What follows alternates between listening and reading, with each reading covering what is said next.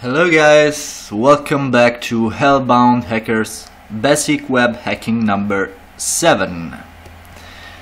So, from the description, uh, we know that cookies are involved and there are two stages. The first one that we will need to uh, log in in this first screen and the second one where we will be able to execute SQL command but that's a second stage.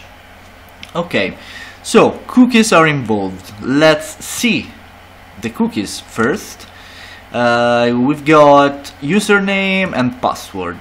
So Sam is the username and password is Jill is dead. Okay, we know that as it is, this is not working because the system itself um, require an encryption. So we will need to encrypt or well encode our uh, username and password. Uh, we can try to encode it uh, in many other ways. Um, the most straightforward and the most the correct one uh, is binary. Binary it's quite easy to perform you can use the bash for example and you can use this perl to encode it in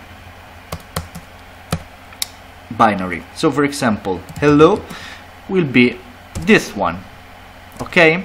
But we don't need hello we need the username which we know from the cookies that is Sam and we will copy this and we will repli replace it like this. Save the change. And we will do the same for the password.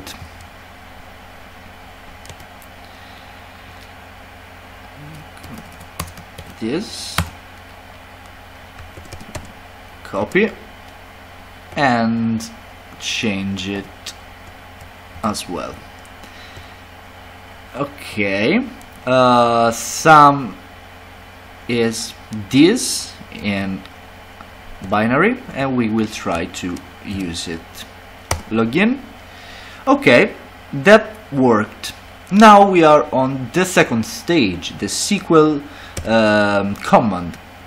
What we are going to use is the classic SQL injection string which is single quote or 1 equal 1 let's try